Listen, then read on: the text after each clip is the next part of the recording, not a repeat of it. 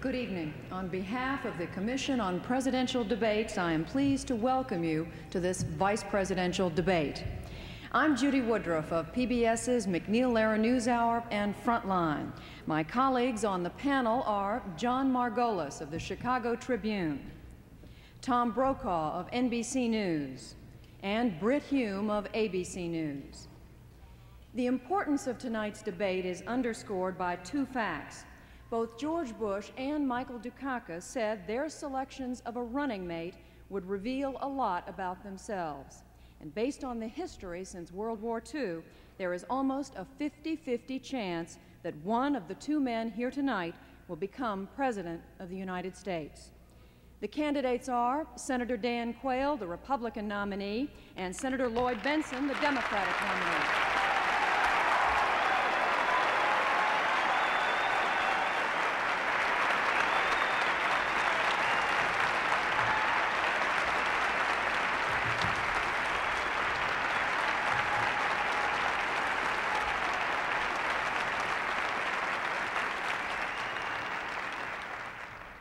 The next 90 minutes, we will be questioning the candidates following a format designed and agreed to by representatives of the two campaigns. However, there are no restrictions on the questions that my colleagues and I may ask this evening. By prior agreement between the two candidates, the first question goes to Senator Quayle, and you have two minutes to respond. Senator, you have been criticized, as we all know, for your decision to stay out of the Vietnam War for your poor academic record. But more troubling to some are some of the comments that have been made by people in your own party. Just last week, former Secretary of State Haig said that your pick was the dumbest call George Bush could have made.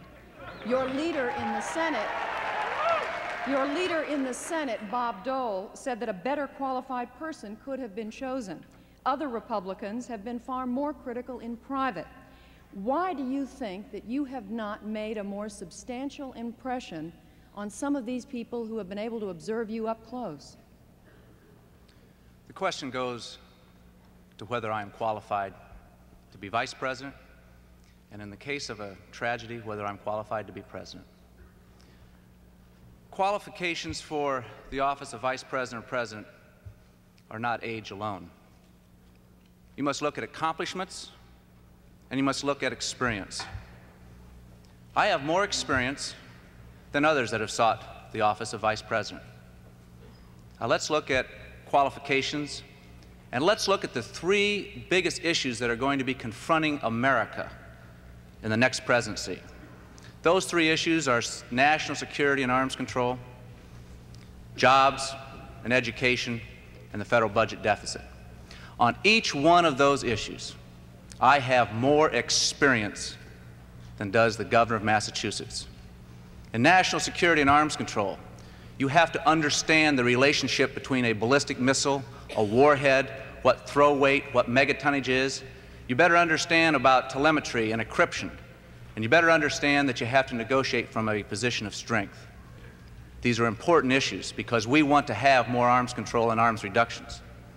In the area of jobs and education, I wrote the Job Training Partnership Act, a bipartisan bill, a bill that has trained and employed over 3 million economically disadvantaged youth and adults in this country. On the area of the federal budget deficit, I have worked eight years on the Senate Budget Committee, and I wish that the Congress would give us the line item veto, veto to help deal with that. And if qualifications alone are going to be the issue in this campaign. George Bush has more qualifications than Michael Dukakis and Lloyd Bentsen combined.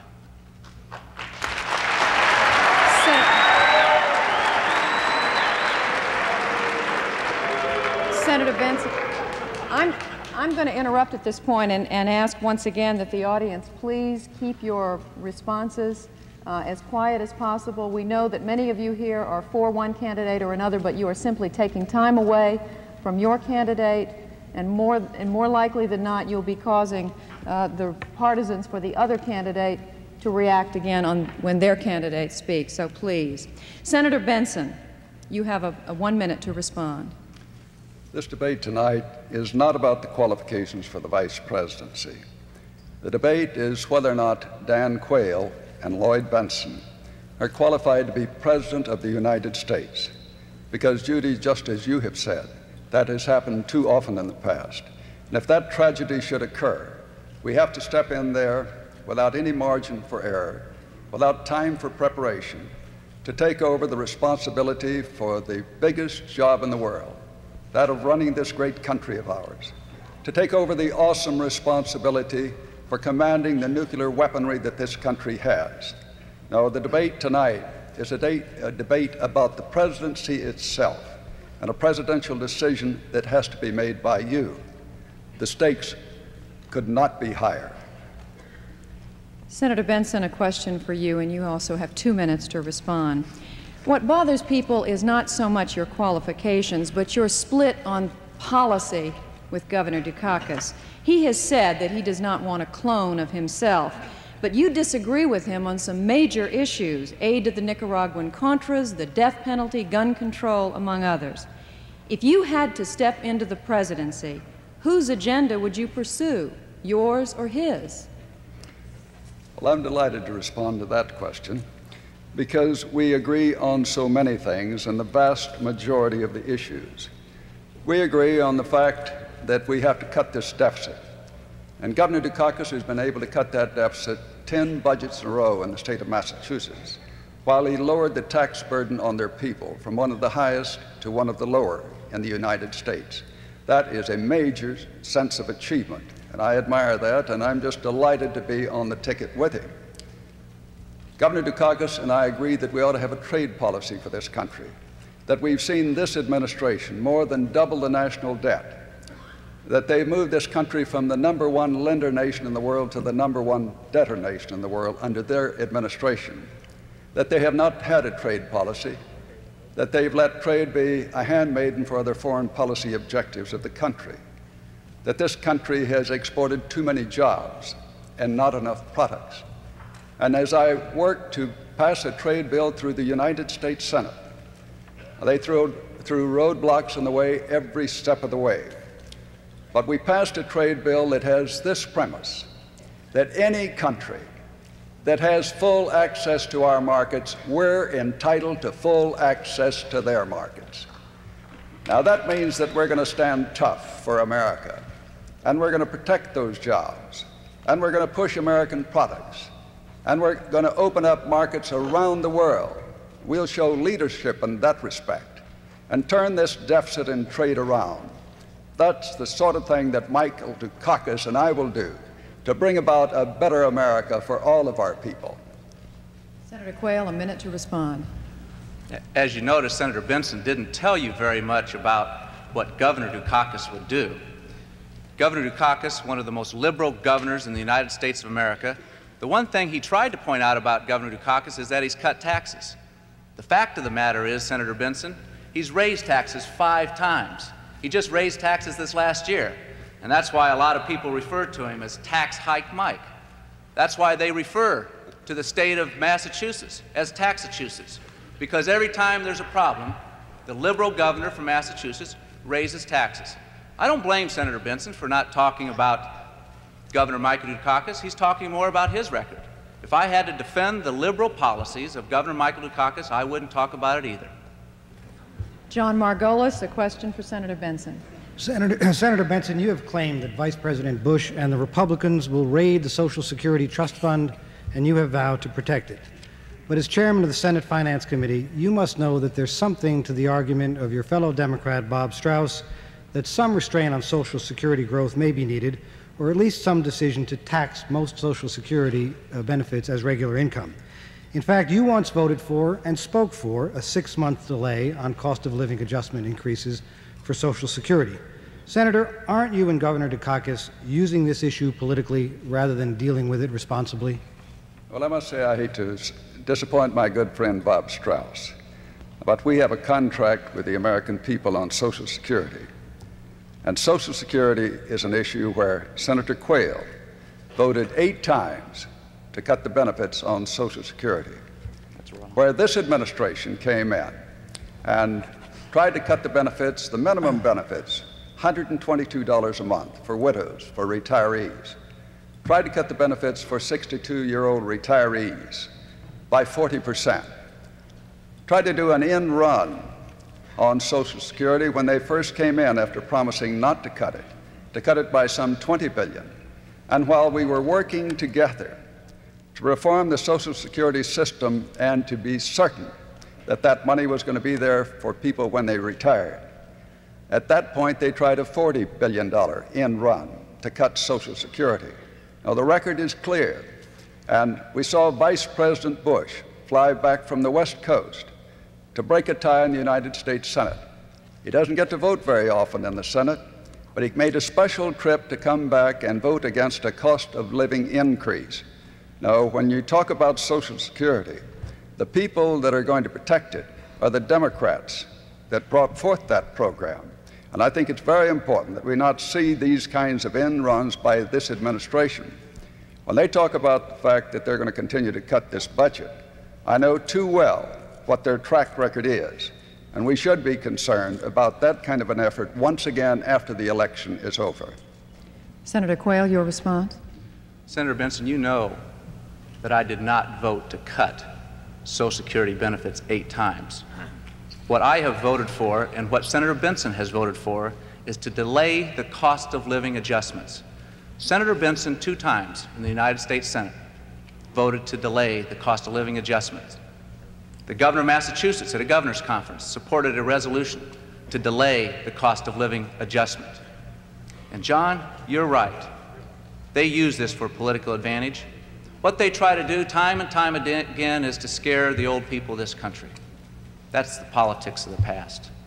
In 1983, Republicans and Democrats dropped their political swords and, in a bipartisan effort, saved the Social Security system. Republicans and Democrats banded together because we know that this program is not a Republican program. It's not a Democrat program. It's a program for older Americans. And that program is actuarially sound the turn of this century. John, a question for Senator Quayle. Senator, since coming to the Senate, you have voted against environmental protection legislation about two thirds of the time. These include votes against pesticide controls, the Toxic Waste Superfund, and health and safety protection from nuclear wastes. Senator, do you consider yourself an environmentalist? And if you do, how do you reconcile that with your voting record?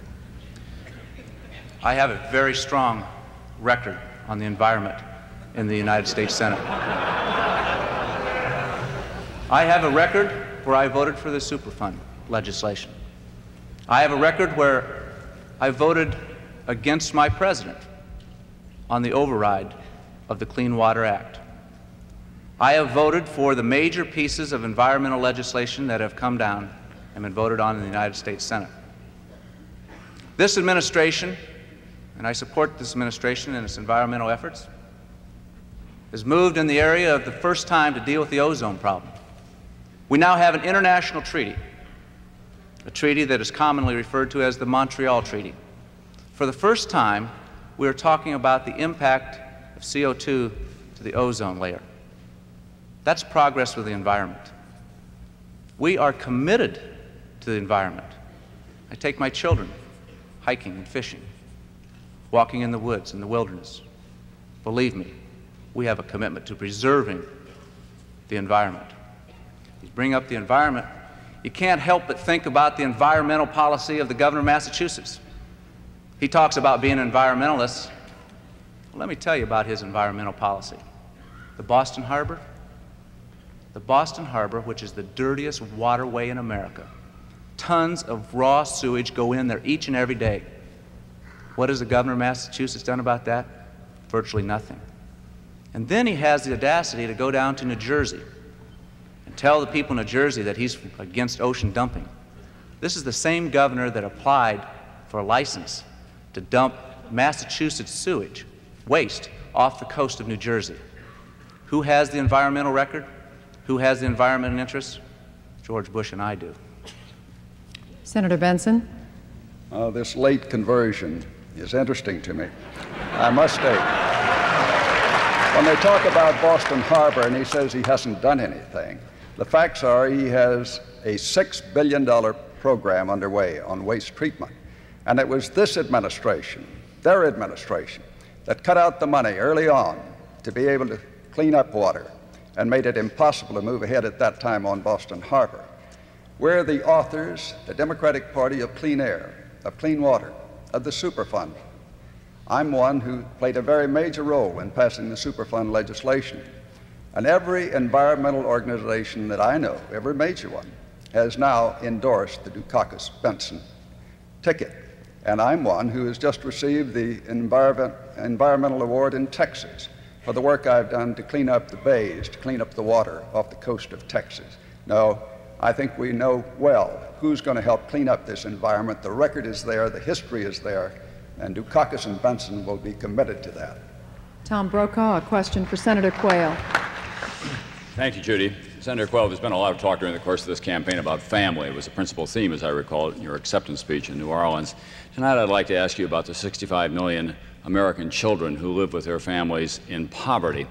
I'd like for you to describe to the audience the last time that you may have visited with one of those families personally and how you explain to that family your votes against the school breakfast program, the school lunch program, and the expansion of the child immunization program.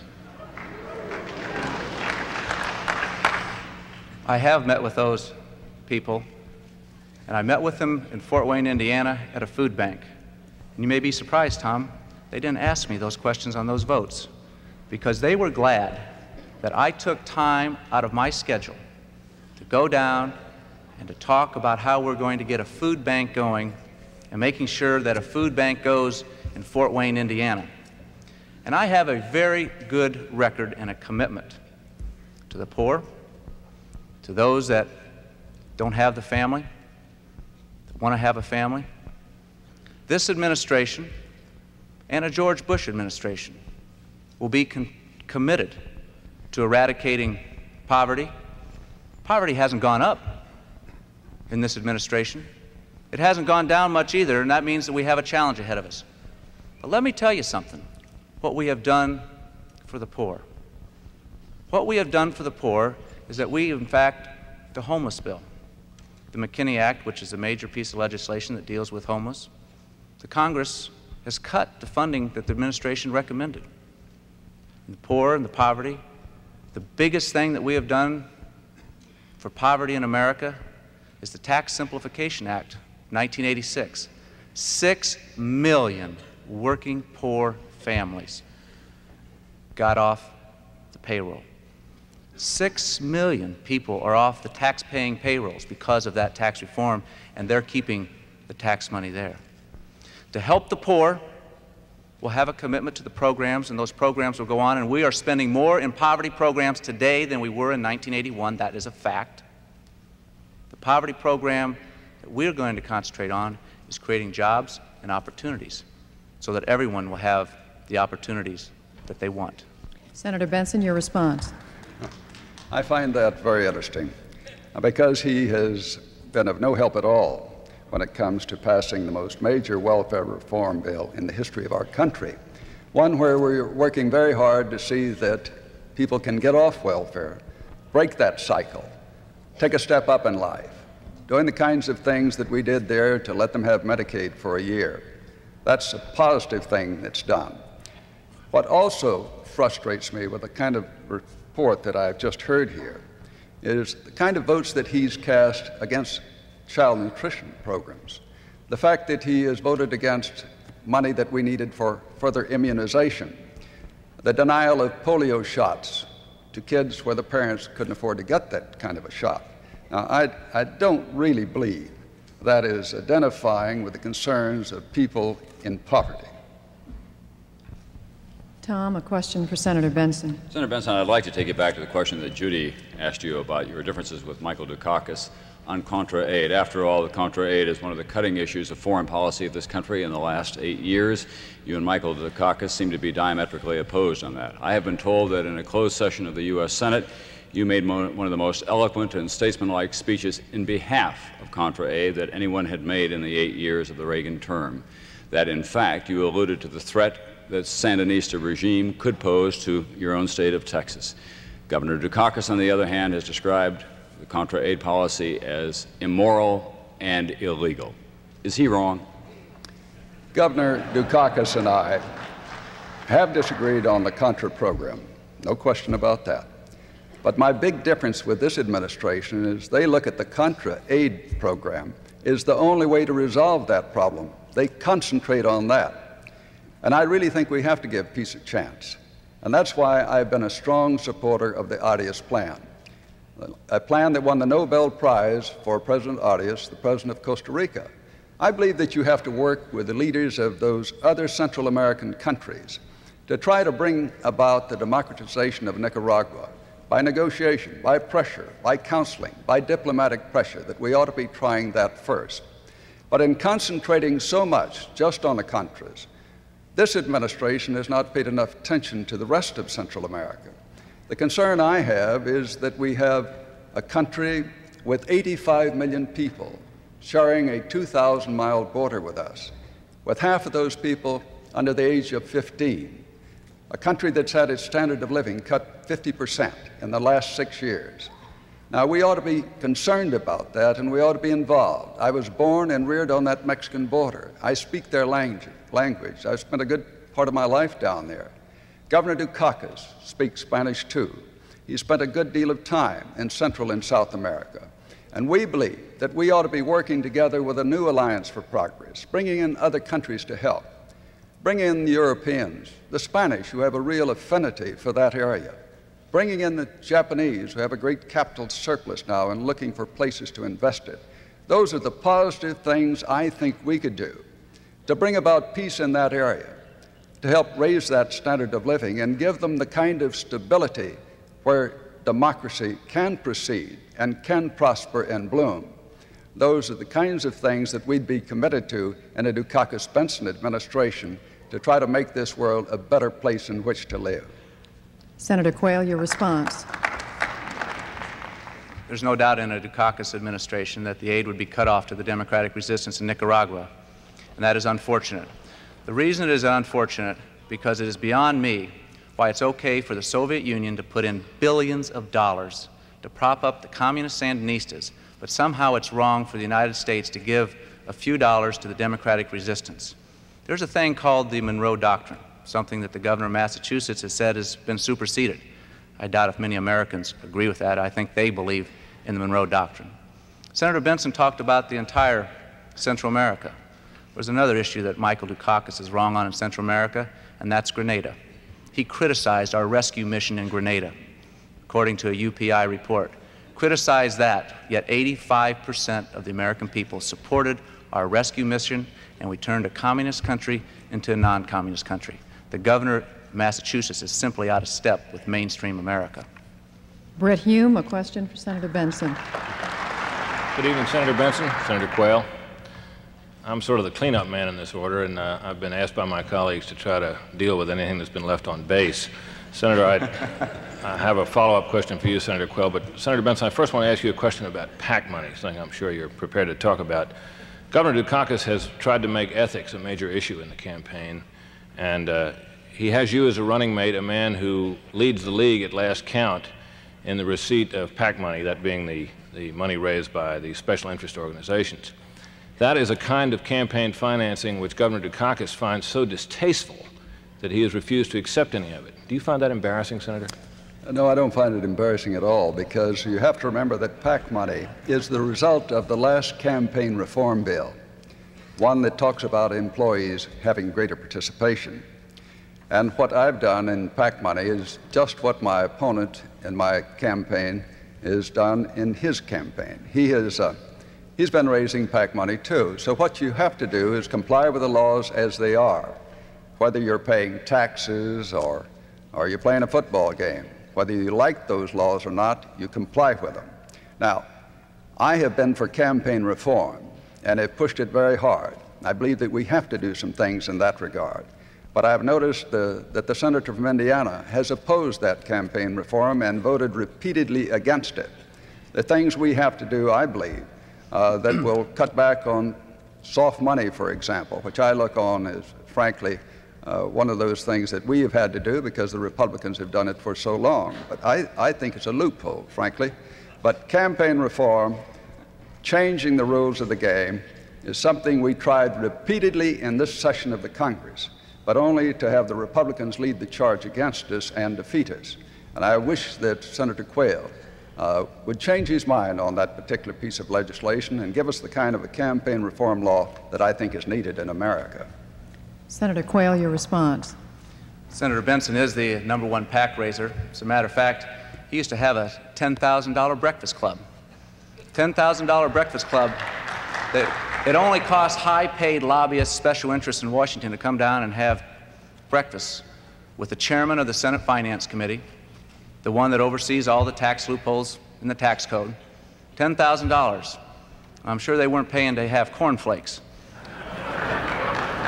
What I'll tell you, the kind of campaign reform I'm supporting, Senator Bentsen, I think it's time that we get rid of PAC money. Support our legislation where we totally eliminate contributions by special interests and political action committees, and let's have the individual contribute and the political parties contribute. That's the kind of campaign reform that Republicans are for. They want to get rid of this special interest money and rely on the individuals and also the political parties. Brit, your question for Senator Quayle. Once again, let me caution the audience, please keep your reactions as quiet as possible.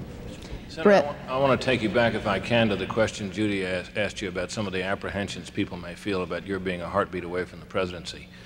And let us assume, if we can, for the sake of this question, that you become vice president and the president is incapacitated for one reason or another and you have to take the reins of power. When that moment came, what would be the first steps that you take and why? First I'd, first, I'd say a prayer for myself and for the country that I'm about to lead. And then I would assemble his people and talk. And I think this question keeps going back to the qualifications and what kind of a vice president and in this hypothetical situation, if I had to assume the responsibilities of president, what I would be. And as I have said, age alone, although I can tell you after the experience of these last few weeks in the campaign, I've added 10 years to my age. Age alone is not the only qualification. You've got to look at experience and you've got to look at accomplishments. And can you make a difference? Have I made a difference in the United States Senate where I've served for eight years? Yes, I have. Have I made a difference in the Congress that I've served for 12 years? Yes, I have. As I said before, looking at the issue of qualifications, I am delighted that it comes up because on the three most important challenges facing America arms control and national security, jobs and education, and budget deficit I have more experience and accomplishments than does the governor of Massachusetts. I have been in the Congress and I've worked on these issues. And believe me, when you look at arms control and trying to deal with the Soviet Union, you cannot come at it from a naive position. You have to understand the Soviet Union. You have to understand how they will respond. Sitting on that Senate Armed Services Committee for eight years has given me the experience to deal with the Soviet Union and how we can move forward. That is just one of the troubling issues that's going to be facing this nation. And I'm prepared. Senator Bentsen. Well, I can't leave something on the table that he's charged me with, and so let's get to that one. Uh, when you talk about the Breakfast Club, as you know, that was perfectly legal. And I formed it and I closed it down almost immediately because I thought the perception was bad. But it's the same law, it's the same law that lets you invite high priced lobbyists down to Williamsburg and bring them down there and entertain them playing golf, playing tennis, and bringing Republican senators down there to have exchanged for that contributions to their campaign. It's the same kind of law that lets you have honorariums, and you've collected over a quarter of a million dollars of honorariums now, speaking to various interest groups.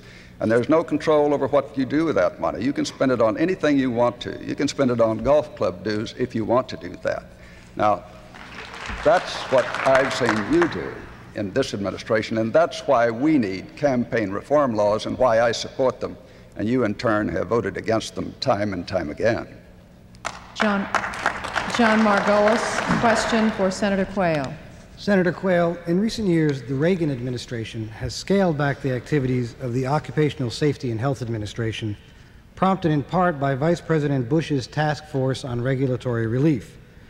The uh, budget for the agency has been cut by 20 percent, and the number of inspections at manufacturing plants has been reduced by 33 percent. This has had a special effect in this area where many people work in the meatpacking industry, which has a far higher rate of serious injuries than almost any other injury, a rate which appears to have been rising, although we're not really sure because some, some of the largest companies have allegedly been falsifying the reports.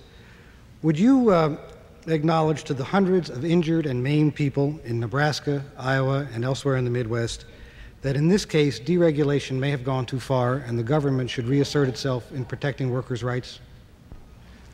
The premise of your question, John, is that somehow this administration has been lax in enforcement of the OSHA regulations. And I disagree with that, and I'll tell you why. If you want to ask some business people that I talk to periodically, they complain about tough enforcement of this administration. And furthermore, let me tell you this for the record. When we have found violations in this administration, there has not only been tough enforcement, but there have been the most severe penalties, the largest penalties in the history of the Department of Labor have been levied when these violations have been found. There is a commitment, and there will always be a commitment, to the safety of our working men and women. They deserve it, and we're committed to them.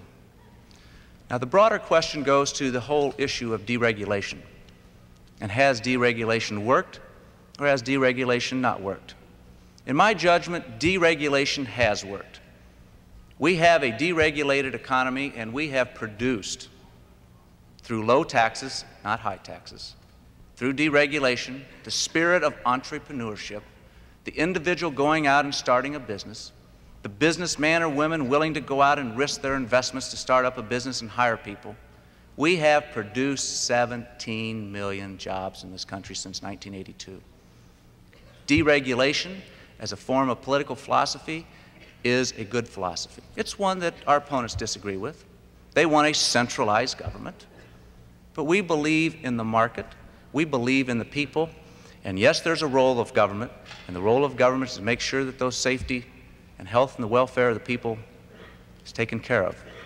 And we'll continue to do that. Senator Bentsen.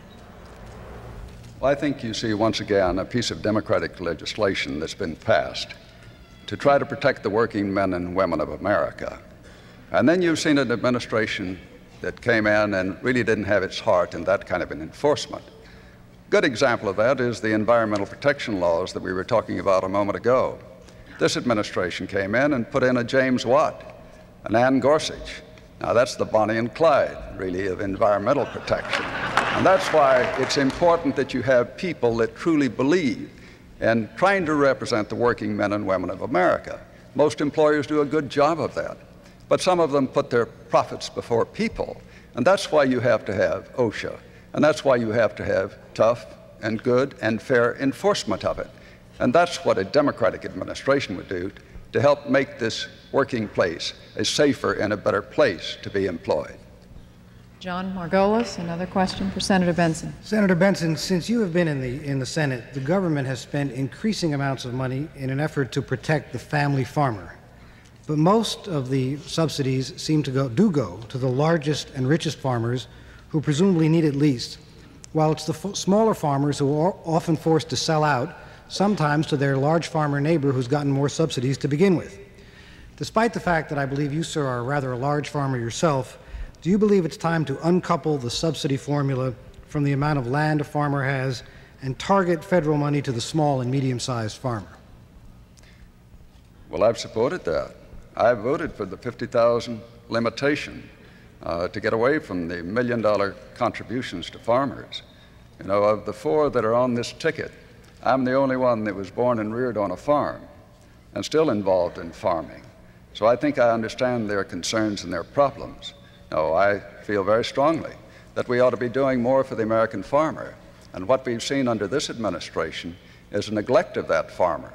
We've seen them drive 220,000 farmers off the farm. They seem to think the answer is move them to town, but we ought not to be doing that. What you have seen them do is cut farm assistance for the rural areas by over 50 percent. We're seeing rural hospitals close all over the country because of this kind of an administration. We've seen an administration that has lost much of our market abroad because they have not had a trade policy. We saw our market loss by some 40 percent. And that's one of the reasons that we've seen the cost of the farm program, which was only about $2.5 billion when they took office, now go to about $25 billion. Now, we can bring that kind of a cost down and get more to market prices if we'll have a good trade policy.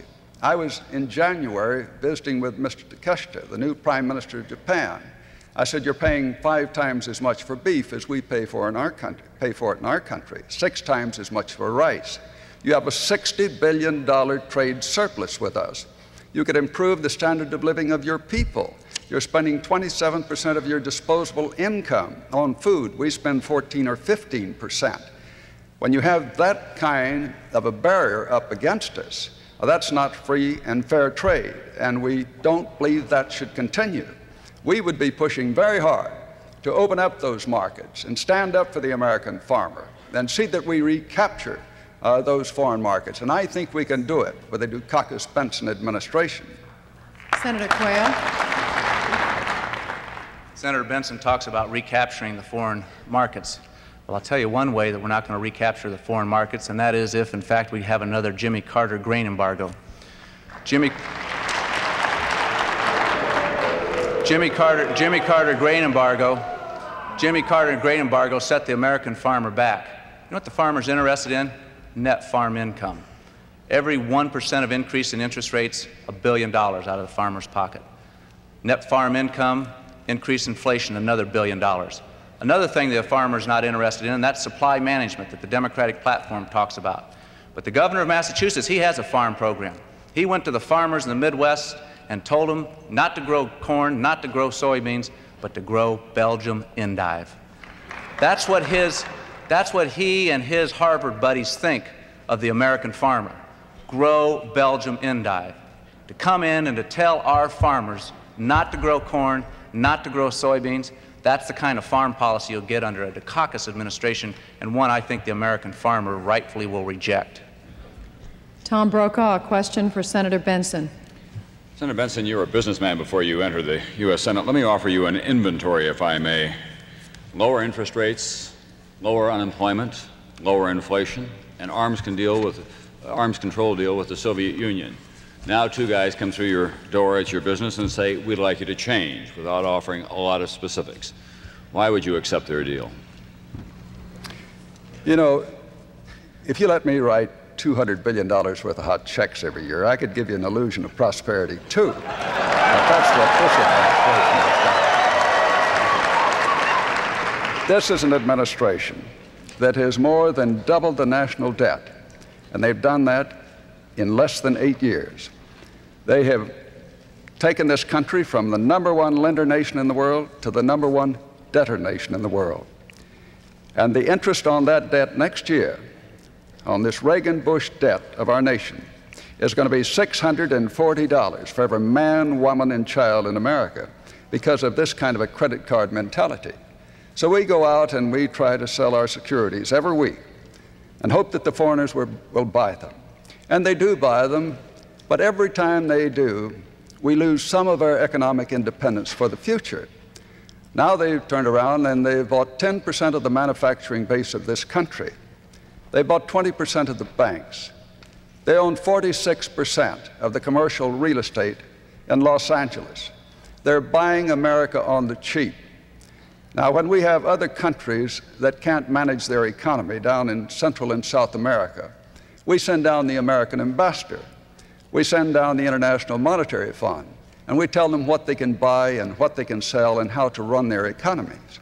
The ultimate irony would be to have that happen to us because foreigners finally quit buying our securities. So, what we need in this country is someone like Mike Dukakis, who gave 10 balanced budgets in a row there and was able to do that meet that kind of a commitment, set those tough priorities. We need an administration that will turn this trade policy around and open up those markets, stand tough with our trading partners to help keep the jobs at home and send the products abroad. Senator Quayle. Senator Bentsen talks about running up the debt. Well, the governor of Massachusetts has run up more debt than all the governors in the history of Massachusetts combined, going back to the days of the Pilgrims. I don't believe that that's the kind of policy that we want. The question went to the heart of the matter. Tom, you asked the question that why would we change? Well, we have changed since 1980. We've got interest rates down. We got inflation down. People are working again. America is held in respect once again around the world. But we're going to build on that change. And as we made those positive change of lower interest rates, lower rate of inflation, the governor of Massachusetts fought us every step of the way. We are proud of the record of accomplishment and the opportunities and the hope for millions of Americans. Hope and opportunity of these Americans is because of the policies that we have had for the last eight years and we want to build on that and change it for even the better. Tom, a question for Senator Quayle. Senator Quayle, as you uh, mentioned here tonight, you actively supported the invasion of Grenada, which was a military operation to rescue some American medical students and to rescue an island from a Marxist takeover. If military force was necessary in that endeavor, why not use the military to go after the South American drug cartels and after General Noriega, for that matter, in a surgical strike, since drugs in the minds of most Americans pose a far greater danger to many more people. You're, you're absolutely right. You're absolutely right that the drug problem is the number one issue. But would you please address country. the military aspect of it? I will address the military aspect, if I may respond. The military aspect, the drug problem, is being addressed. As a matter of fact, we are using the Department of Defense in a coordinated effort on reconnaissance, but I don't believe that we're going to turn the Department of Defense into a police organization. We are using our military assets in a prudent way to deal with interdiction, and we've made some success in this area. 70 tons of cocaine have been stopped. But you know, when you look at the, the drug problem, and it is a tremendous problem, and there are no easy solutions to it. It's a complicated problem. And it's heading up the effort to try to create a drug-free America, which is a challenge and a goal of all of us. Not only will we utilize national defense and the Department of Defense, but we've got to get on the demand side of the ledger. We've got to get to education. And education ought to begin at home, and it ought to be reinforced, reinforced in our schools. And there's another thing that will be more important than the premise of this question on a hypothetical of using troops. We'll use military assets. We're not going to we will use military assets, but we need to focus on another part of this problem. And that problem is law enforcement. And here's where we have a major disagreement with the governor of Massachusetts. He is opposed to the death penalty for drug kingpins. We believe people convicted of that crime deserve the death penalty, as does the legislation that's in the Congress that is supported by a bipartisan, including many Democrats of his party. He also was opposed to mandatory drug sentencing for drug dealers in the state of Massachusetts. You cannot have a war on drugs. You cannot be tough on drugs and weak on crime. Senator Bentsen. It's interesting to see uh, that the senator from Indiana, when we had a resolution on the floor of the United States Senate sponsored by Senator Dole, that this government would make no deal with Noriega that the senator from Indiana was one of the dozen senators that voted against it. It's also interesting to see uh, that uh, one of his campaign managers that's trying to help him with his image was also hired by Noriega to help him with his image in Panama. Now, what we have seen under this administration, we have seen them using eight cabinet officers, 28 different agencies, all fighting over turf. And that's one thing we'd correct under Dukakis Bentsen administration. We'd put one person in charge in the war against drugs, and we'd commit the resources to get that job done. Now, Mike Dukakis has been able to do that type of thing in the state of Massachusetts by cutting the drug use in the high schools while it's going up around the rest of the country, by putting in a drug educational program that the Drug Enforcement Agency said was a model for the country, we'd be doing that around the rest of the country. That's a positive attack against drugs. Brit Hume, a question for Senator Quayle. Senator, I want to take you back to the question that I asked you earlier about what would happen if you were to take over in an emergency and what you would do first and why. You said you'd say a prayer and you said something about a meeting. What would you do next? I don't believe that it's proper for me to get into the specifics of a hypothetical situation like that. The situation is that if I was called upon to serve as the president of this country, or the responsibilities of the president of this country, would I be capable and qualified to do that? And I've tried to list the qualifications of 12 years in the United States Congress. I have served in the Congress for 12 years. I have served in the Congress and served eight years on the Senate Armed Services Committee. I have traveled a number of times. I've been to Geneva many times to meet with our negotiators as we were hammering out the INF treaty. I've met with the Western political leaders, Margaret Thatcher, Chancellor Kohl. I know them. They know me. I know what it takes to lead this country forward. And if that situation arises, yes, I will be prepared, and I'll be prepared to lead this country if that happens. Senator Bentsen.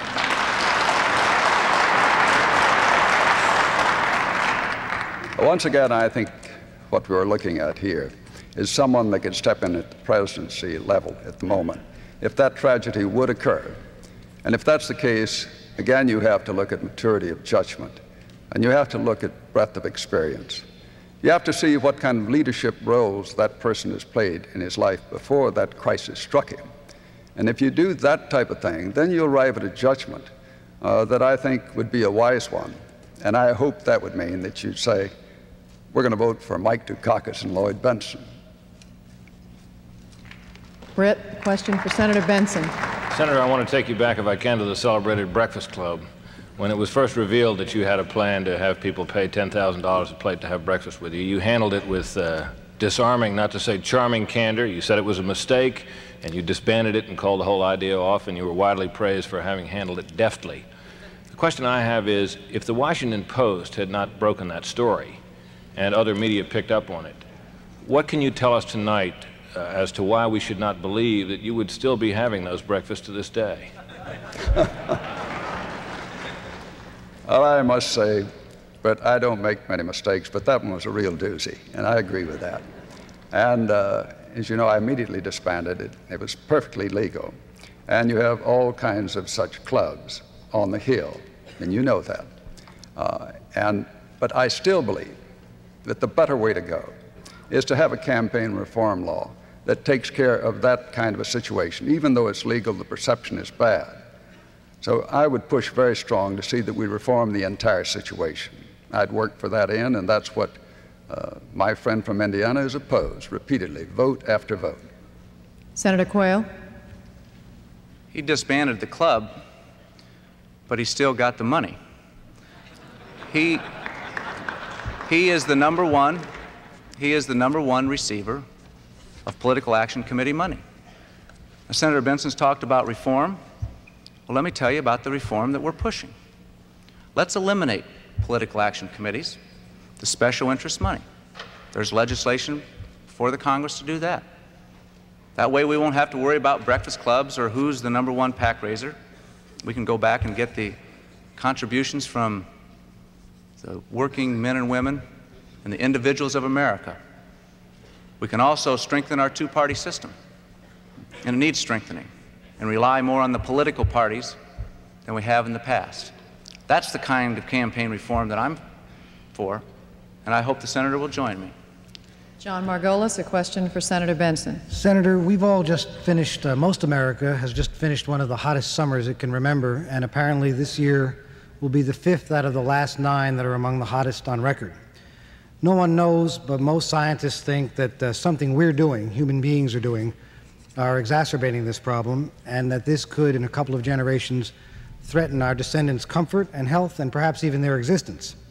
As Vice President, what would you urge our government to do to deal with this problem? And specifically as a Texan, could you support a substantial reduction in the use of fossil fuels, which might be necessary down the road?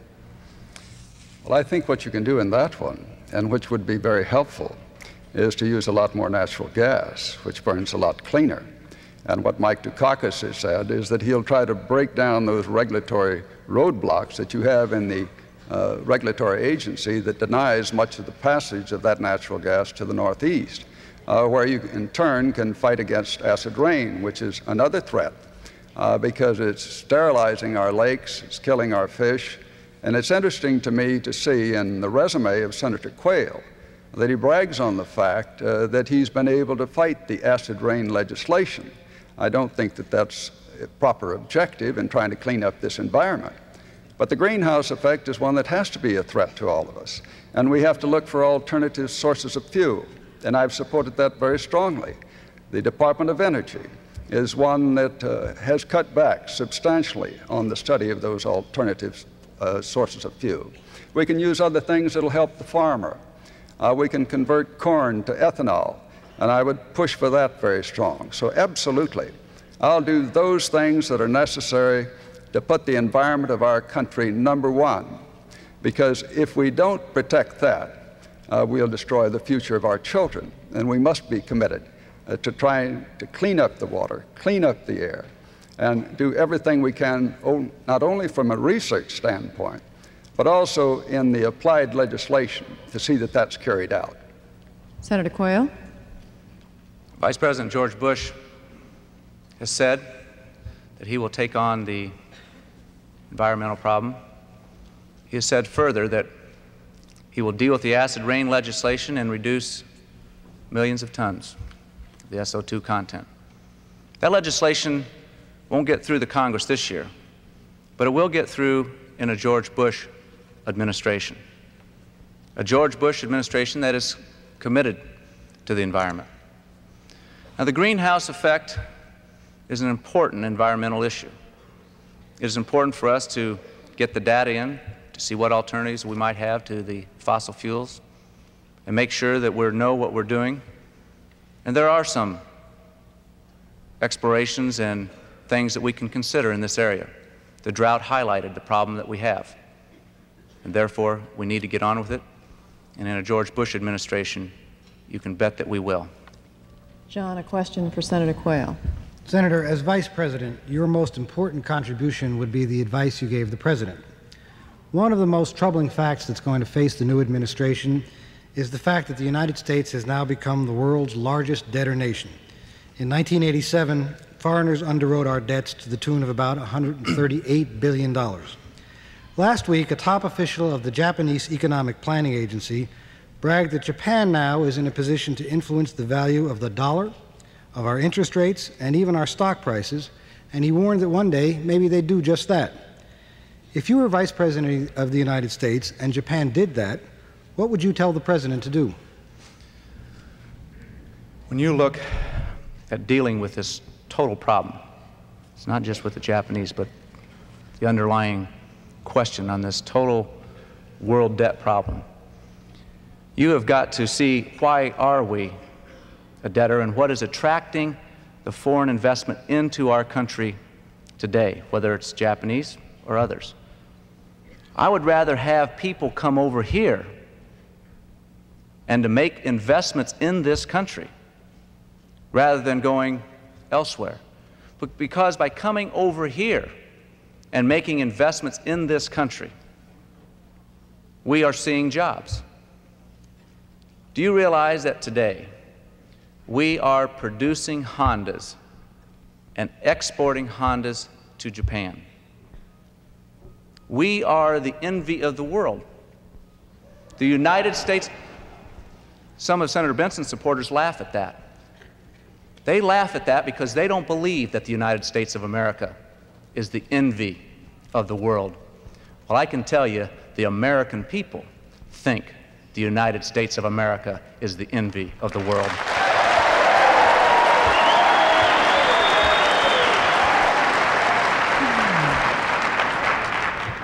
Senator We- Bentsen, oh, I'm sorry, go ahead. We are the greatest nation in this world and the greatest economic power. Now, there's been some talk in Congress about forgiveness of debt. Forgiveness of debt is wrong. Forgiveness of international debt would be counterproductive. And I'd like to see those that talk about forgiving debt, Senator Bentsen, go out and talk about a farmer that's in debt that doesn't have his forgive, given. That's not the kind of policy George Bush will have. Senator Bentsen? Well, I've told you what I'd do about trade and trying to help turn that situation around. But what we also do, should do is get them to give us more burden sharing when it comes to national defense. We have a situation today where, on a per capita basis, people in Western Europe are spending about one third as much as we are in our country. And then when you go to Japan, where we're spending 6.5% on defense of the democracies, they're spending 1%. I met with some of the Japanese business leaders, talking to them about it. And I said, you know, we have 50,000 troops here in Japan protecting the democracies of Asia. And it costs $3.5 billion a year. You're the number two economic power in the world. You ought to measure up to that responsibility and carry some of that cost. I said, if we were not doing what we're doing, we'd have a big budget surplus. And I said, you'd have chaos because you get 55% of your oil from the Persian Gulf and you wouldn't have the U.S. Navy down there to take care of that. Now, the senator from Indiana, when we passed a resolution in the United States Senate to ask for burden sharing on that cost to keep those sea lanes open from the Japanese, he voted against that. I don't understand that. Tom Brokaw, a question for Senator Quayle. Senator Quayle, I don't mean to beat this drum until it has no more sound left in it, but to follow up on Brit Hume's question, when you said that it was a hypothetical situation, it is, sir, after all, the reason that we're here tonight, because you are running not just for vice president. And if you cite the experience that you had in Congress, surely you must have some plan in mind about what you would do if it fell to you to become president of the United States, as it has to so many vice presidents just in the last 25 years or so. Let me try to answer the question one more time. I think this is the fourth time that I've had this question. And I think time. that three times that I've had this question, and I'll try to answer it again for you as clearly as I can. Because the question you're asking is what kind of qualifications does Dan Quayle have to be president? What kind of qualifications do I have, and what would I do in this kind of a situation? And what would I do in this situation? I would make sure that the people in the cabinet and the people and the advisors to the president are called in, and I'll talk to them, and I'll work with them. And I will know them on a first-hand basis, because as vice president, I'll sit on the National Security Council. And I'll know them on a first-hand basis because I'm going to be coordinating the drug effort. I'll know them on a first-hand basis because Vice President George Bush is going to recreate the Space Council, and I'll be in charge of that. I will have day to day activities with all the people in government. It is not just age, it's accomplishments, it's experience. I have far more experience than many others that sought the office of Vice President of this country. I have as much experience in the Congress as Jack Kennedy did when he sought the presidency. I will be prepared to deal with the people in the Bush administration if that unfortunate event would ever occur. Senator Bentsen? Senator, I served with Jack Kennedy. I knew Jack Kennedy. Jack Kennedy was a friend of mine. Senator, you're no Jack Kennedy.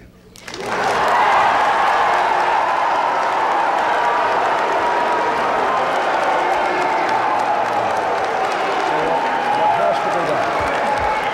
What has to be done in a situation like that? Please. In a please, situation once like again, that. You're only taking time Is to call in the joint- your own candidate.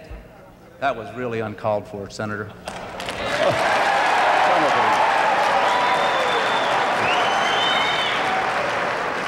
You're the one that was making the comparison, Senator. And I'm one who knew him well. And frankly, I think you're so far apart in the objectives you choose for your country that I did not think the comparison was well taken. Tom, a question for Senator Bentsen. Since you seem to be taking no hostages on the stage, let me ask you a question about the American hostages, nine still in brutal captivity in the Middle East. Senator Bentsen, you have been critical of the Iran Contra affair, but tell me, does the Dukakis Bentsen ticket have any realistic plan for getting the American hostages being held in the Middle East released in any due time? Tom, that's one of the toughest problems that any chief executive will face because you can't help but have the sympathy for that family and for those hostages in themselves. But the one thing we ought to know by now is that you can't go out and make secret deals with the Ayatollah. You can't trade arms for hostages. When you try to do that, there's no question but what you just encourage more taking of hostages. And that's been the result uh, by this dumb idea that was cooked out, cooked up in the White House basement. And I want to tell you that George Bush, attending 17 of those meetings and having no record of what he said, if Lloyd Bentsen was in those meetings, you would certainly hear from him, and no one would be asking, Where is Lloyd? Because I would be making, I would be saying, That's a dumb idea, and now let's put an end to it. And I would speak up on that type of thing. So all you can do in that is to continue to push, use every bit of diplomatic pressure you can, what you can do in the way of economic pressure in addition to that. And that's what you would strive to do to have a successful release finally of those hostages, but not to encourage more taking of hostages. Senator Quayle? There's no doubt about it that arms for hostages is wrong, and it will never be repeated. We learn by our mistakes. But there have been a number of successes in foreign policy in this administration. But the question goes to a very difficult one. How do you do it? No one has the answer. If they did, we'd, we'd certainly do it. But we won't keep trying. We'll keep trying. We'll keep the doors open. And hopefully someday, Iran and others who control those hostages will want to return to civilized international community. And they can do that starting now by releasing those hostages that are held illegally. Brit Hume, a question for Senator Bentsen. Senator, uh, much of the Dukakis and Bentsen campaign of late has been devoted to the notion that Senator Quayle isn't ready for the vice presidency and perhaps the presidency, and certainly nothing that you have said here tonight suggests that you think otherwise. I wonder if you think it's really fair for you to advance that view in light of the fact that you ran for the presidency not the vice presidency, in 1976, having not yet completed one full term in the Senate and having previously served three terms in the House almost a quarter of a century earlier, when in fact your time in Washington was about equal to what he has now? Well, I think what you have to look at is the record of a man who has served his country, served his country in war, headed up a squadron in combat, a man who built a business, knew what it was to meet a payroll, create jobs, and then serve in the United States Senate. And one who has been able to bring about some of the kinds of legislation that I've been able to bring about in my service there. I must say I didn't do a very good job of running for the presidency, and I'm well aware of that. But what we're looking at today is trying to judge once again the breadth of experience and the maturity of someone taking on this kind of a task. That's the judgment that has to be exercised by the people of America. It's a presidential decision that you're facing, and it's an, a very important one because we're talking about who's going to lead this country into the, its future, and you can't have a more important responsibility than that one. Senator Quayle. When you look at qualifications, you look at accomplishments as well as experience. And one of the accomplishments that I'm proudest of is the authorship of the Job Training Partnership Act that has trained and educated and employed over 3 million young people and adults that are economically disadvantaged. And we did it in a way that we got the private sector to involve itself with the public sector. On private industry councils throughout America that serve over the service delivery areas, we have 51% of that private industry council that are businessmen and women.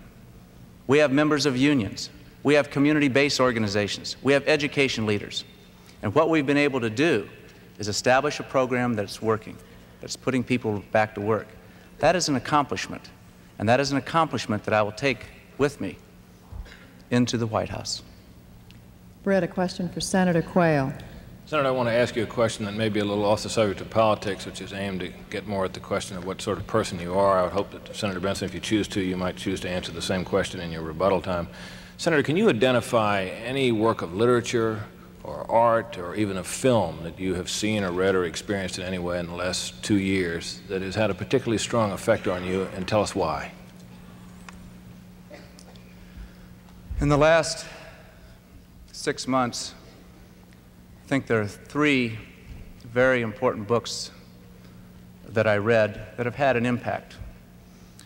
The three books are one, Richard Nixon's victory in 1999, Richard Lugar's, Senator Richard Lugar's letters to the next president, Bob Massie's Alexandra, Nicholas and Alexandra, which deals with the fall of the Russian Empire and the coming of Leninism in 1917.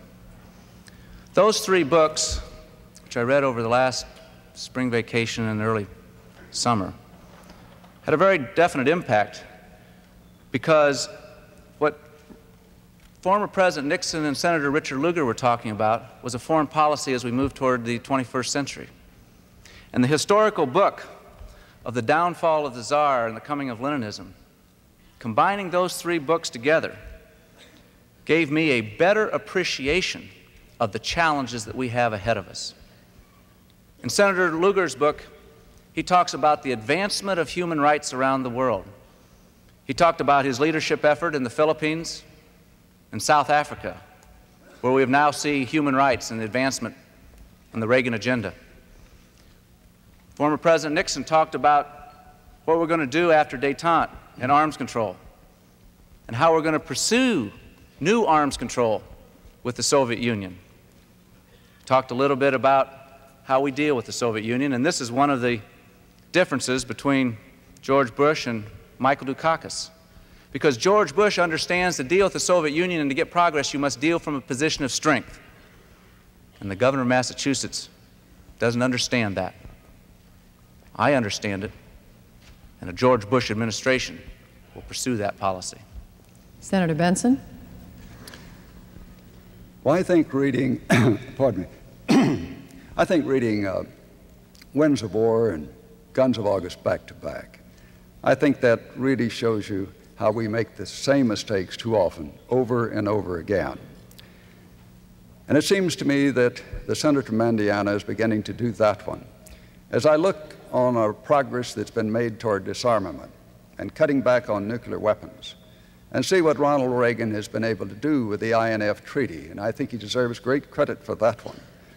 I see a situation where the senator from Indiana uh, has now jumped off the reservation when we talk about building on what Ronald Reagan has done and opposes what Ronald Reagan wants to do, the Joint Chiefs of Staff and the Secretary of Defense, and says, let's go slow on doing further disarmament and trying to get to the next treaty. I think that's a mistake. I think that you have to deal with the Russians from strength, and we have to understand uh, that you have to have a strong, modernized nuclear deterrent. But I think we can make substantial progress, and we ought to take advantage of it. I think he's arrived at a very dangerous judgment in the question of war and peace, and it concerns me very much because I saw him also try to sabotage the INF Treaty when he was on the floor of the United States Senate with what he was doing there. He's listening once again Senator. to the winds of the radical right. My light was still on, Judy. Jon Margolis.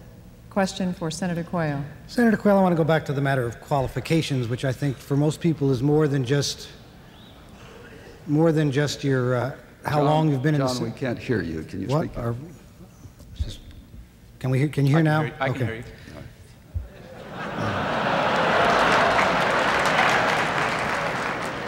I want to go back to the question of qualifications, which I think for most people is more than just how long you've been in the Senate and, and how long you've been in public life. There's also a question of, of candor and of consistency, and several of the things you've said, both here and earlier, I think have raised some reasonable questions. Each of them alone might seem rather trivial, but I think together they, they uh, create a, a, pattern that needs to be asked. You, you've talked a few times today about the Job Training Partnership Act, which you authored. In fact, I believe you co authored it with another senator whom you almost never name.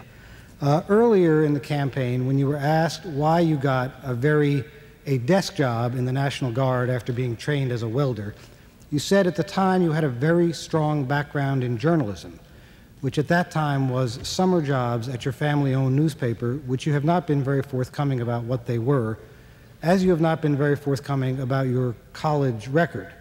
Now, I have to say that you have at least the males on this uh, panel have earlier agreed that your record was probably comparable to ours. But um, nonetheless, nonetheless, these examples of sort of overstatement and exaggeration and not being forthcoming uh, this is what has, has led a lot of people to question this part of your qualifications, not your, not your experience, but your, character, but your character. Would you like to set some of these things straight now as to what you did in your, in your summer jobs in college, what your grades were like, and would you like to identify your co sponsor of the Job Training Partnership Act? All in two minutes? Sure. Let me, let me, let me start with the uh, underlying uh, premise that somehow I haven't been straightforward. And I have. And let's go to, right to the very first question the Job Training Partnership Act. I was the author of that. The co author in the United States Senate was Senator Kennedy. I was the chairman of the Employment and Productivity Subcommittee. Chairman of the committee, write that legislation.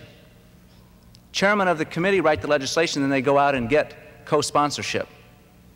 And when you are the chairman of the committee and you sit down and you write the legislation, you are the author of that. And I'm proud to have been the author of that. Because you know what we had? We had a CETA program that spent $50 billion from about 1973 through 1982.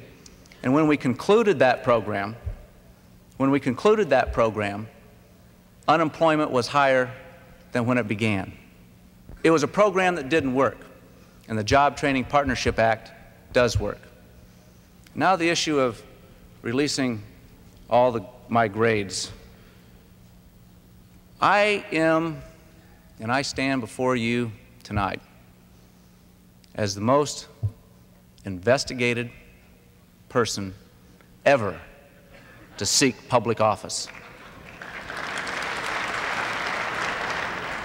Thousands of journalists have asked every professor I've had, all my teachers, and they know, and I have never professed to be anything but an average student. I have never said that I was anything more than that, but it's not whether you're an average student, it's what are you going to do with your life? And what have I going to do with my life? I have committed it to public service since I was 29 years of age, elected to the House of Representatives elected to the United States Senate when I was 33, and now have the opportunity at 41 to seek the office of the vice presidency. Senator. Senator Bentsen. I have absolutely no quarrel with uh, Senator Quayle's military record, but I do strongly disagree with him on some of the issues. You make great patriotic speeches, and I enjoy them. But I don't understand your vote on veterans issues. Senator Quayle has one of the worst voting records in the United States Senate on veterans issues. And one of them that particularly bothers me sponsoring legislation to put a tax on combat pay and disability pay for veterans, for fighting men and women of America.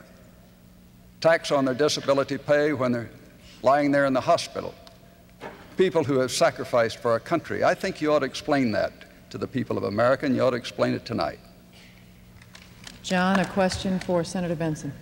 Senator, you're chairman of the Senate Finance Committee, and you're generally considered rather an orthodox conservative on fiscal matters, meaning someone who would be very concerned about the budget deficit. With everybody in politics afraid even to mention taxes, or Social Security cuts, or even very much restrained in defense spending. Would you now list a few specific programs which would reduce or eliminate, which you would reduce or eliminate, to cut the deficit by about $50 billion, the deficit which is expected to be about $135 billion this fiscal year? One of them that I'd work on, and I'd do this as a farmer, I'd try to turn the situation around where we have seen the subsidy payments go from two and a half billion to 10 times that under this administration.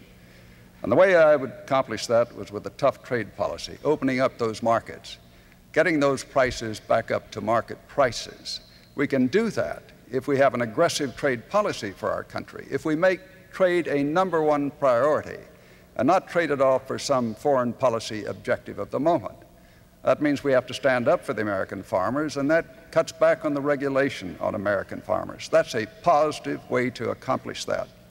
In addition to that, we do some of the things that I think have to be done insofar as doing a better job of procurement, uh, particularly when we're talking about some of our military things that we should buy. I know that I fought very hard to put in an independent inspector general for the Defense Department, that the senator from Indiana opposed me on that. But we were finally able to put that into effect, and we saved over a quarter of a billion dollars this year, almost enough to buy a squadron of 716s. Those are the kinds of things that I'd work on, and one of the things I learned in business is that you can expect what you inspect. So we'd be uh, doing a much tougher job of auditing uh, to try to get rid of some of these kickbacks to consultants on military contracts, to be much more aggressive on that. In addition, those types of things would bring the interest rate down. I'd try to turn this trade deficit around, and that too would help us and help us very substantially. And I'd get rid of some things like uh, these uh, planes that you're going to have that uh, the administration wants that'll fly from New York to Tokyo and take those investment bankers over there in four hours. I don't think we can afford a piece of technological elegance like that. Uh, I'd strike that sort of thing from the ticket. I don't know how many people have ridden the Concorde, not many, uh, but I voted against it, said it'd be a financial disaster, and it's been just that. Senator. So those are the types of things that I would work on. Senator Quayle. The way we're going to reduce this budget deficit, and it is a challenge to make sure that it is reduced, is first to stick to the Gramm-Rudman targets. The Gramm-Rudman targets have worked. We've reduced the federal budget deficit $70 billion. Senator Bentsen voted against Gramm-Rudman. the very tool that has been used to bring the federal budget deficit down. We're going to need all the tools possible to bring this federal budget deficit down. We need the tools of a line item veto. A line item veto that 43 governors in this country have, but not the President of the United States. The President of the United States needs to have a line item veto when Congress goes ahead and puts into appropriations bills unrequested and unnecessary spending. Let the President put a line through that, send it back to the Congress, and let the Congress vote on it again. Congress has got to help out in reducing this bu budget deficit as much as the executive branch. Tom Brokaw, a last question for Senator Bentsen. Senator Bentsen, I'd like to ask you about your split personality during this election year. You're running on the ticket uh, with uh, Michael Dukakis, a man who is opposed to the death penalty, a man who is in favor of gun control, and at the same time, you're running for the United States Senate in the state of Texas, where your position on many of those same issues is well known and absolutely opposed to him. How do you explain to the people of Texas how you can be a social conservative on those cutting issues and still run with Michael Dukakis on the national ticket? Michael Dukakis wasn't looking for a clone. I think it's part of the strength and the character of this man that he reaches out and that he wants someone that will speak up, and that I'll do. I've seen many chief executives come into my office and say they're going over and tell the President of the United States off. They're going to pound the desk and go into that office and turn to jello. I've dealt with many a president, and I don't hesitate for a minute to speak up. But when you're talking about something like the death penalty, where Michael Dukakis and I do disagree, what you really ought to get to is what's being done against crime and what kind of progress he's been able to make. In the state of Massachusetts, he has the homicide rate down to the lowest of any industrial state. It's substantially ahead of the national average. He's been able to do that with a educated program for the people of that state by adding some 1,500 new police officers. He's done it uh, in turn by the leadership that I think he will bring to the ticket when he becomes President of the United States and fighting drugs. He's taken it down some 4% in the high schools of that state while it's gone up around the rest of the nation. But you would see him as President of the United States being very aggressive in this fight against crime and having that kind of a successful result. And that's one of the reasons I'm delighted and proud to be on the ticket with him. Sure, we have some differences, but overall, we have so many things we agree on. This situation of, of a trade policy, of cutting back on, on the deficit, uh, those are positive plus things and major issues facing our nation. Senator Quayle? One of the things that they don't agree on is in the area of national defense. National defense and how we're going to preserve the freedom in this country. Michael Dukakis is the most liberal national Democrat to seek the office of presidency since George McGovern. He is for, he is against the MX missile, the Midget Man, cutting two aircraft carriers.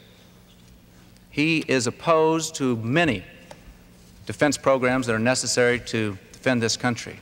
That's why former Secretary of Defense and former Energy Secretary in the Carter administration, Jim Schlesinger, in an open letter to Time magazine, asked Governor Dukakis, Are you viscerally anti military?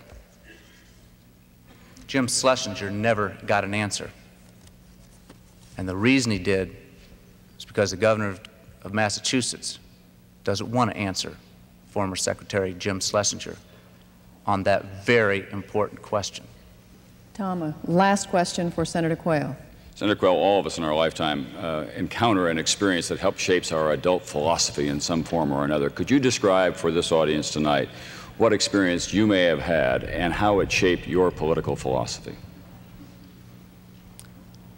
There are a lot of experiences that I've had that have shaped my adult philosophy, but the one that I keep coming back to time and time again, and I talk about it at commencement addresses, I talk about it in the high schools, I talk about it when I visit the job training centers. And it's the advice that my maternal grandmother, Martha Pulliam, who's 97 years old, we're, we are a modern day four generation family. The, informa- the advice that she gave me when I was growing up is advice that I've given my children and I've given to a number of children, a number of people. And it's very simple. It's very common sense. And she says, You can do anything you want to if you just set your mind to it and go to work. Now, the Dukakis supporters sneer at that because it's common sense.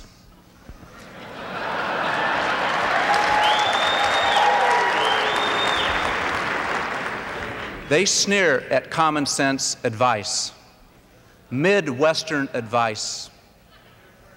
Midwestern advice from a grandmother to a grandson. Important advice. Something that we ought to talk about because if you want to, you can make a difference. You, America, can make a difference. You're going to have that choice come this election. Everyone can make a difference if they want to. Senator Bentsen?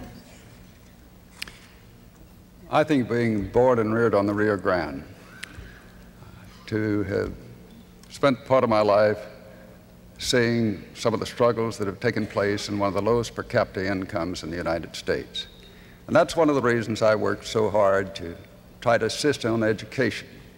And when I found that the bankers in that area found that they could not handle the loans because of some of the detail and the expense, couldn't make a profit on it, I went down there and helped form a nonprofit organization to buy up those loans from them and to manage them and do it uh, in a way where they'd continue to make those loans. Now they have.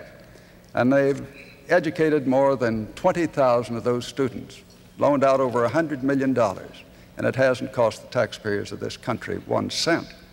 It's one of the reasons I've worked so hard to bring better health care to the people, because what I've seen in the way of poverty down there in that area and the lack of medical attention and trying to see that that's turned around.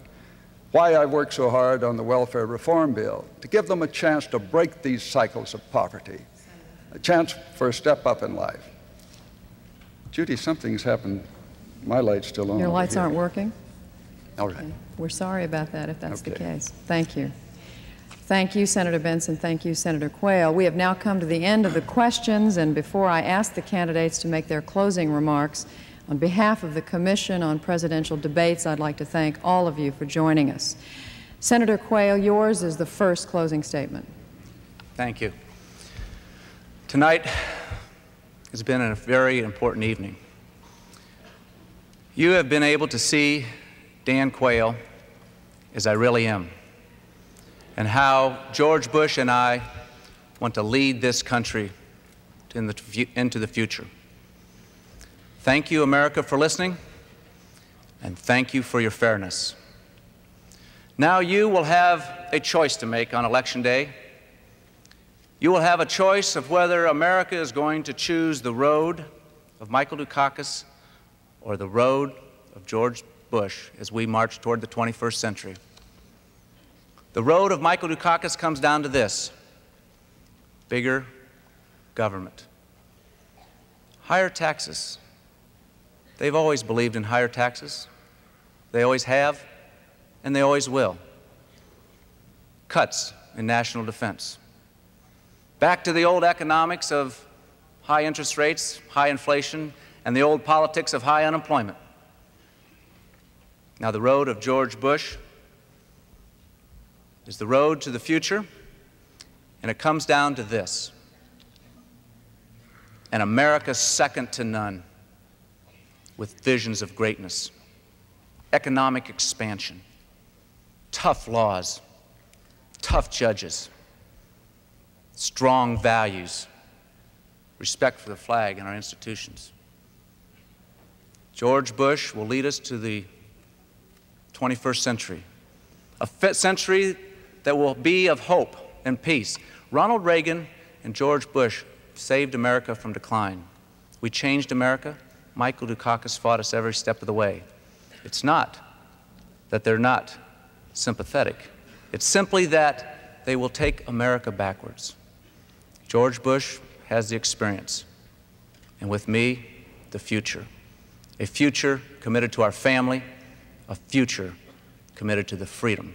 Thank you, good night, and God bless you.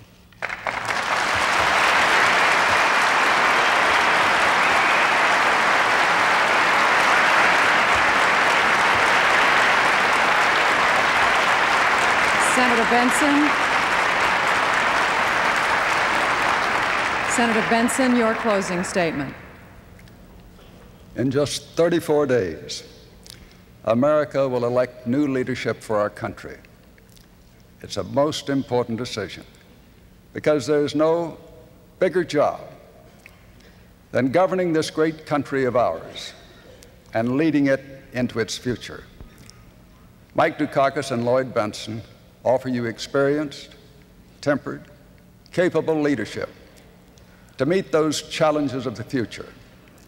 Our opposition says lower your sights, rest on your laurels.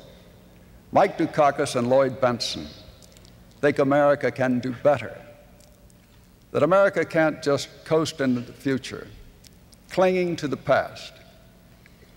This race is too close. The competition is too tough, and the stakes are too high. Michael Dukakis and Lloyd Bentsen think America must move into that future, united in a commitment to make this country of ours the most powerful, the most prosperous nation in the world. As Americans, we honor our past, and we should. But our children are going to live in the future. And Mike Dukakis says the best of America is yet to come. But that won't happen taking care of our economy, just putting it on automatic pilot. It won't happen by accident. It's going to take leadership and it's going to take courage and the commitment and a contribution by all of us to do that. I've worked for the betterment of our country, both in war and peace, as a bomber pilot, as one who has been a businessman and a United States Senator, working to make this nation the fairest and the strongest and the most powerful in the world. Help us bring America to a new era of greatness. The debate has been ours, but the decision is yours. God bless you.